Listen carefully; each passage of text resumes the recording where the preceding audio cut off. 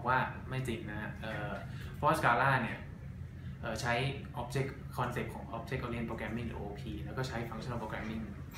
ด้วย เพราะนั้นถ้าเกิดคุณได้เรียนอ่อ Object Oriented Programming มาแล้ว ก็ถือว่าคุณได้เรียนภาษา Scala ไปแล้วเกือบครึ่งที่เหลือก็คือต้องเรียน Functional Programming แล้วก็อื่นๆเช่น Syntax คืออันนี้ก็ไม่จริงเท่าไหร่นะ ไม่ได้ยากขนาดนั้น แต่ว่ามันมีหลายเรื่องมากทำให้รวมๆก็อาจจะดูว่าเยอะเกินไป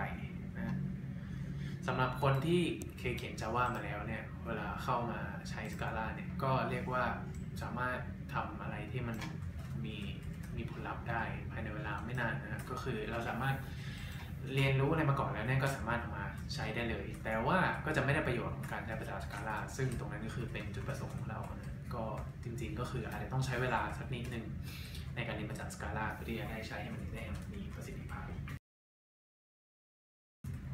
ซึ่งก็มันจะมี 2 ประเด็นหลักๆ ก็คือ 1 ก็คือ symbolic method หรือก็คือ method ที่เขียนในการใช้สัญลักษณ์ต่างๆ ซึ่งตรงนี้ถ้าเกิดใช้ไม่ถูกต้องเนี่ยก็จะอ่านยากจริงๆ แต่ว่าถ้าเกิดเราใช้ได้ถูกต้องเนี่ยมันก็ทำให้โค้ดเราอ่านสั้นกระชับได้ง่ายขึ้น Java 8 เวอร์ชันใหม่เนี่ยมีเอ่อ lambda ฟังก์ชันแล้วซึ่งก็หมายความว่าสามารถใช้ functional programming ได้แล้วก็แปลว่า Scala เอ่อ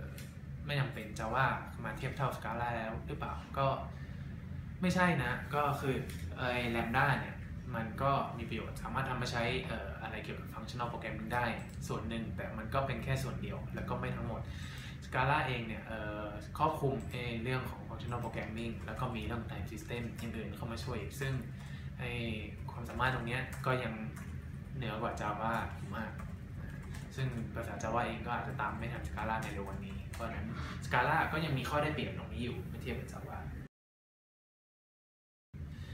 เอ่อตรงนี้ก็ถ้าเกิดก็เช่นกันเหมือนกับเครื่องมือทั่วๆไป ถ้าเกิดเราใช้ไม่ดีมันก็ทำให้ชีวิตเรายากขึ้น แต่ถ้าเกิดเราใช้ได้ถูกต้องมันก็ทำให้ชีวิตเราง่ายขึ้น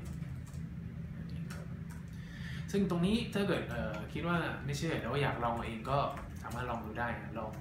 ใช้ภาษาลองเอาสกาล่ามาลองเขียนโค้ดนิดหนึ่งแล้วดูว่ามันเป็นรูปหรือเปล่า